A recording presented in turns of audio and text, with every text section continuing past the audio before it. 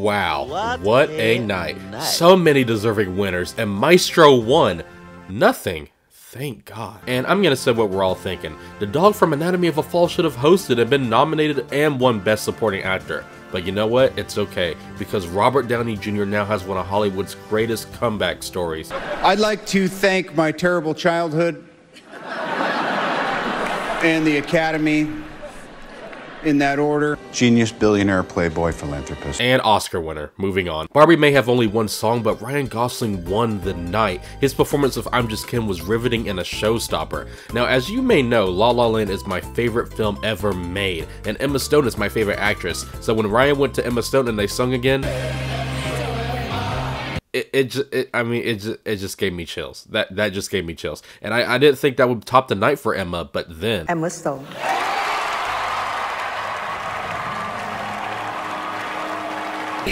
Um, my dress is broken.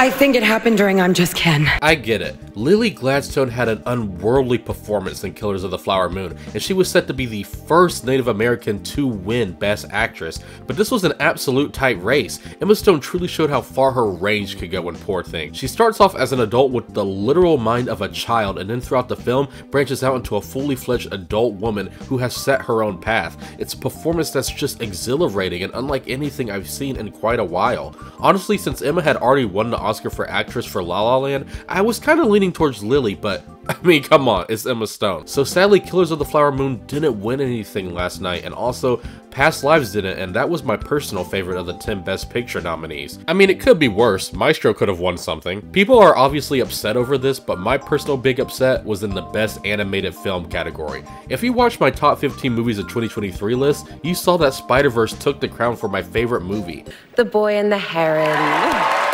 So I'm a little upset, but honestly, I can't be. See, there's a reason why I didn't review The Boy and the Heron. I went to the movies to see it right after a long day of work, and throughout the movie, I zoned out every now and then, so it's my fault I couldn't really behold the themes and Studio Ghibli magic that this movie conveyed. This was Miyazaki's most personal film and his second one ever, and without a doubt, I'm going to rewatch this film again, so I can appreciate it more when I'm off work one day, and maybe even give you guys a review. My favorite Oscar win of the night definitely went to the Godzilla team.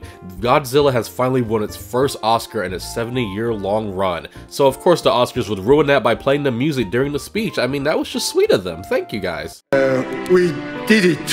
Thank you. Thank you so much. The big winner tonight was of course Oppenheimer, but in a shocking turn of events, Maestro won Best Actor, Best Picture. In fact, it won everything.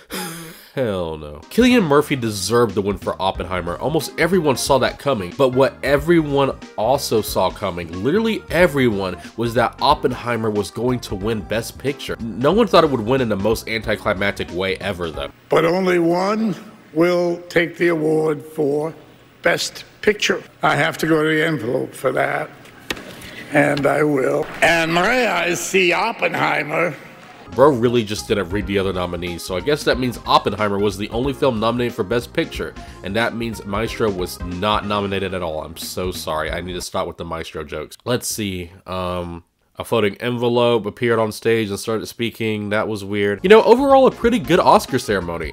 I'm just gonna end this video as anticlimactically as Al Pacino because I, I really don't know what else to say. Uh, this is the end of the video, alright.